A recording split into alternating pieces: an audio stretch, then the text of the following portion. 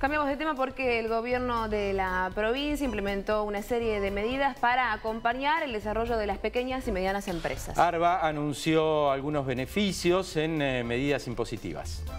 Junto con el Ministerio de Producción, que está dando algunos incentivos productivos desde la Agencia de Recaudación, lanzamos medidas concretas. Una, la más potente, que abarca el 80% de los contribuyentes de ingresos brutos, casi un millón de contribuyentes, es diferir el pago de ingresos brutos tanto del mes de noviembre como desde diciembre.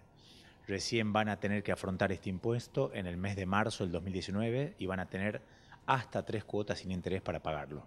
La segunda medida, muy ligada y complementaria a la primera del diferimiento de ingresos brutos, es temporalmente, en el mes de noviembre y en el mes de diciembre, aquellas pymes que muchas veces trabajan con una cuenta bancaria y en esa cuenta bancaria tienen alguna retención, algún pago a cuenta de ingresos brutos, vamos a excluirlo de cualquier tipo de retención.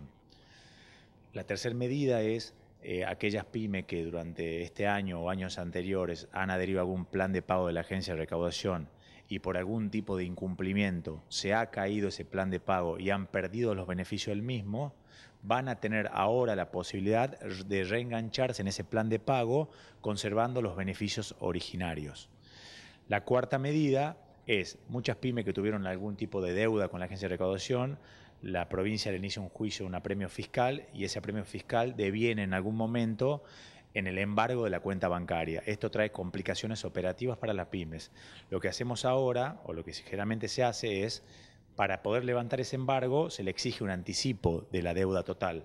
Ese anticipo hasta el mes de junio del 2018 era del 30% de la deuda total, desde junio hasta ahora era el 10% de la deuda total y a partir de ahora y por el transcurso de tres meses no vamos a exigir ningún tipo de anticipo de la deuda. Solamente adhiriéndose a un plan de pago se le va a liberar la, cuenta bancaria para poder operar normalmente. El universo es contribuyentes que en el año 2017 facturaron hasta 2 millones de pesos anuales. Es el 80% de los contribuyentes de ingresos brutos. Cualquier tipo de actividad que ejerce un contribuyente que haya facturado hasta 2 millones de pesos está abarcado por estos beneficios.